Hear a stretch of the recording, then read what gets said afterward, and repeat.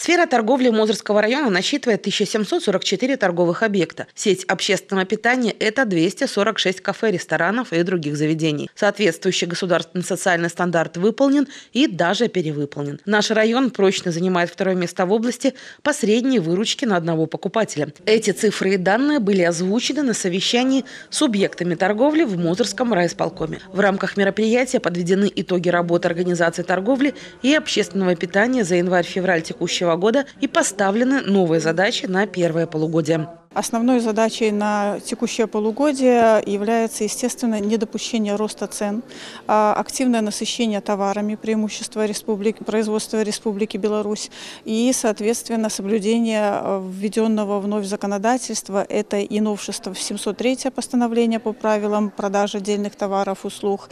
Это 713 постановление о системе регулирования цен, основной задачей которой как раз-таки является недопущение роста цен.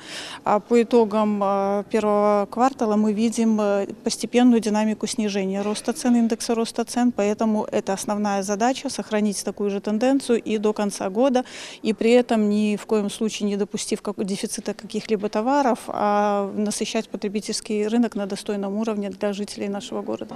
Предшествовала совещанию дегустация продукции предприятий-изготовителей.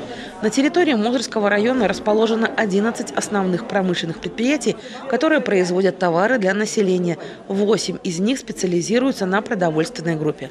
Внимание покупателей сегодня привлекает консервированная продукция экспериментальной базы «Клиничная». Она представлена в фирменном магазине в агрогородке «Клиничный» и в торговой сети МТК «Полесье». Екатерина Юрченко, Светлана Грудько, Вячеслав Пересыпкин, телеканал «Мозырь».